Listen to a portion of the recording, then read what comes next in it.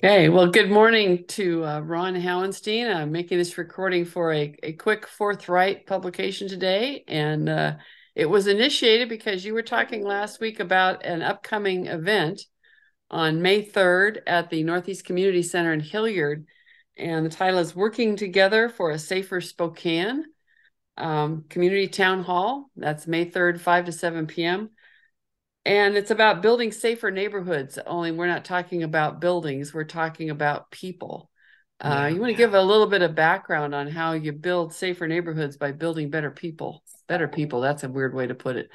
By re- drawing the best well, out of yeah, it's, it's no secret. We all know that families are the cornerstone of of civilization of society, and and it, uh, it's, it's no secret what has happened to families in the last 50, 60 years. The rate of marriage in America is down 61% from its peak in 1970. Uh, out of wedlock births in 1960 were 5%. Now they're 40%. And among women aged 25 and under giving birth for the first time, it could be as high as 80%.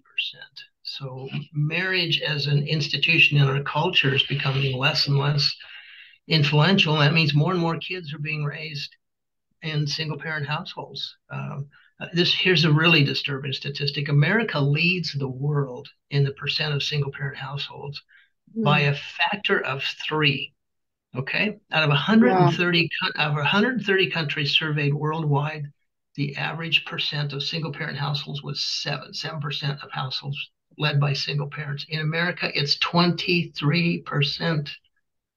Hmm. Uh, an embar- frankly, an embarrassing statistic. An embarrassing statistic. Our our neighbor to the north, Canada, our closest neighbor geographically and culturally, is 15%. Still, we're still 50% higher than them. So, um, yeah, we build we build stronger neighborhoods by restoring the family and, and putting this emotional uh, security blanket our kids that, that's so important for them.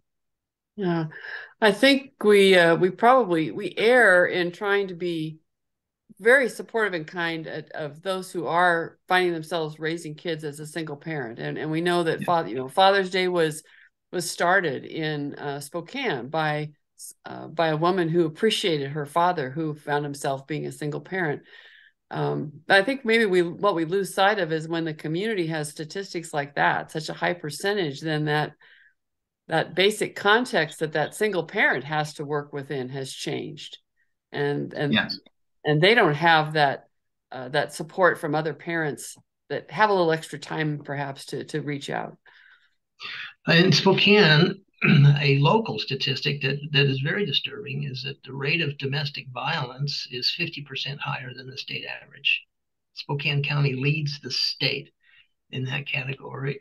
Uh, child abuse and neglect is 35% higher in Spokane County than the state average. So uh, we we have a huge uh, challenge, and I so I went to one of these workshops uh, last week, and there's three, and uh, a very impressive set of panelists, probably a dozen panelists, including the chief of police, the sheriff, city councilwoman, school district, probation, social workers. Um, and nearly every one of them said we need, need more money for mental health dollars. There's they just feel absolutely overwhelmed by the mental health challenges facing youth and families. But they did also acknowledge that that the source, the roots and seeds of, of these problems that are have blossomed and manifested so strongly is the breakdown of the family that that you know the the school counselors were saying we can counsel these kids and, and help them address their issues but we know we're sending them back to a dysfunctional household. Mm-hmm. and that's where the work needs to be done. And that's when i stood up and said we need to support organizations in the community that are rebuilding families. Um, so um, right. And so ron that's a good place for me to ask you to tell you a little bit about the Spokane Fatherhood Initiative because that's a I think it's a really impressive um, organization that is trying to address that. We're a nonprofit founded on the principle that fatherlessness is the root cause of nearly all of society's problems. So if you look at the, the list of things that this organization is trying to address domestic violence, uh, drug and alcohol abuse, suicide, uh, racial inequities, we can, I believe, all of those things stem back to uh, households that have um, that are fatherless. That that the, the role of men and dads in society has been so weakened in the last 50, 60 years in my lifetime. Um, we're now reaping the consequences and, and the fruit of that. And, and the the element that's a, at work there is that fathers bring a sense of security and strength. Mothers bring love and nurturing. And both sides are valuable. Both sides are necessary to kids growing up uh, strong and healthy. And and now we so we we build fathers. Okay, we have fatherhood classes. Um, we have a 93% graduation rate uh, in our fatherhood classes. We have an excellent reputation with the courts uh, and with most social service agencies in the community. We we see literally we see transformation um, in in these men when they go through our classes. They're they're very comprehensive. 24 hours for the basic class, 24 hours for an advanced class. We've got a, a program men can get into after that for six months if they want. We don't charge anything. We we have wonderful supporters, largely in the Christian community, and uh, I, I appreciate your endorsement that we are doing amazing things. Well, I, I think you are. I've, I, I know I've referred one young man to, to you. I'm, I'm going to follow up and give him a little nudge to make sure that he, he follows up. Um, I think one of the uh, one of the things that's happening at the state level is that uh, Representative Mary Dye had uh, tried to uh, she had introduced but could not get a hearing for a bill to create a men's commission to address some of the statistics that are there. I mean, if we had any other demographic group that had had the kind of statistics where the suicide rate is uh, up from is up by 37%, um, we'd start looking at uh, at what else we needed to to do to address that. And I know you have some statistics that come from your work with the the fatherhood initiative of some of the problems that we have in our in the men and boys in our community, and we really need to address those. Um, what are some of those statistics that the fatherhood initiative is really looking at? Well, not just boys, but but children who grow up in a fatherless home are four times uh, more likely to end up in poverty. Uh, girls are seven times more likely to become pregnant as teenagers. Uh, boys and girls both are more likely to have behavioral problems. Uh, boys, especially, are 20 times more likely to end up in prison.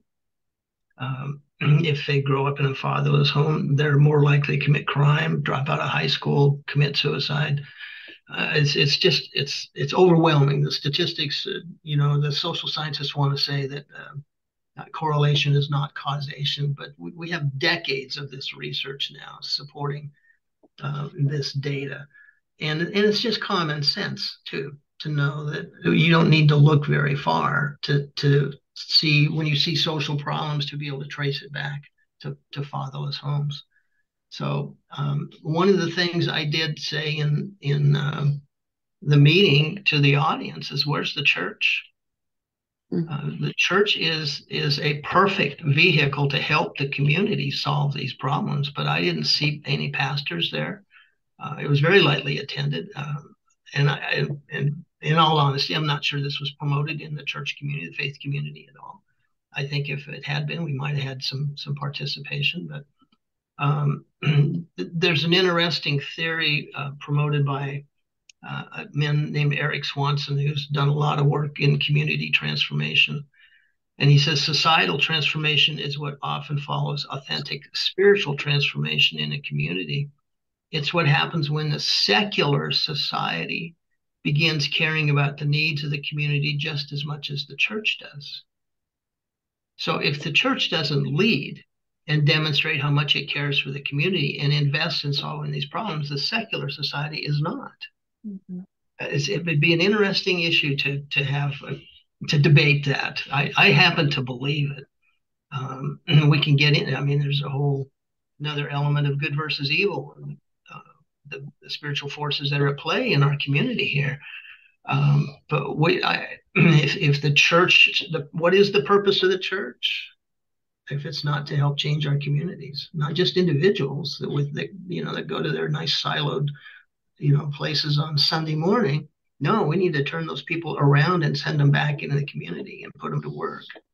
Many come here and help us do that. So I do appreciate your work. I'm gonna make sure that I tag this uh, this posting to some folks in the church circles. Uh, but meanwhile, I'd like to remind uh, remind anybody who's listening that uh, May 3rd, there's the last of these three town halls looking at uh, building safer neighborhoods by looking at the at how we how we bring the best out of people and provide people with better uh, skills and resources uh, and acknowledge some of the problems that we've created. So that's that's going to be this Wednesday, May 3rd from 5 to 7 p.m. at the Northeast Community Center in Hillyard. And uh, are you going to be there, Ron? I'm going to try. I have a, a meeting here at 6:30, so we'll see. That'll make that'll make it. Well, you you went to one of the other ones, so now have, yeah, yeah. It's, it's and I, else. And I've already connected with the, the organizers. We're having follow up okay. meetings in my office tomorrow. So. Okay, great. Well, there's there's a start, but uh, for anyone else who's interested in getting involved, this is really just the initial steps of a longer process uh, that I think we'll see unfolding over this next year. Uh, but this town hall, May 3rd, 5 to 7 at the Northeast Community Center in Hillyard. Uh, if you are interested in building safer neighborhoods by uh, by looking at the human factor, which is always so critical, um, your uh, your opportunity for some input and to listen and to start to get involved is is this Wednesday. One more thing, if a lot of this data that we're talking about is posted on our website, spofi.org, S-P-O-F-I.org. And uh, we, we just recently revamped that. We got a lot of great information on there. I will put a link to your website onto onto my post and kick that out there. All right. And uh, thank you for joining me this morning, Ron. Thank you for having me.